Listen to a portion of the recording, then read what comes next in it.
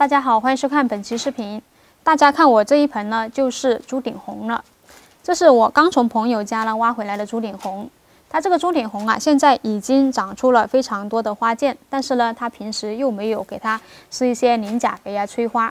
那么平时它是怎么做到让这个朱顶红窜出这么多花剑来的呢？其实很简单，它就是直接地栽的。然后呢，它平时偶尔会在这个盆土旁边啊给它松松土，然后呢撒上一点鸡粪。后续浇水的时候啊，这个鸡粪呢就会释放养分，这个朱顶红吸收了足够的营养之后呢，生长也就会比较旺盛一点。然后等到花期的时候呢，它就会串花剑了。所以呢，其实养护朱顶红啊，其实非常的简单。